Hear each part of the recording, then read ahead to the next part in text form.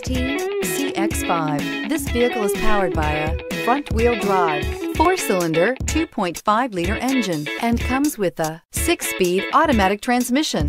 Great fuel efficiency saves you money by requiring fewer trips to the gas station. This vehicle has less than 40,000 miles. Here are some of this vehicle's great options. Traction control, stability control, fog lights, braking assist, power brakes.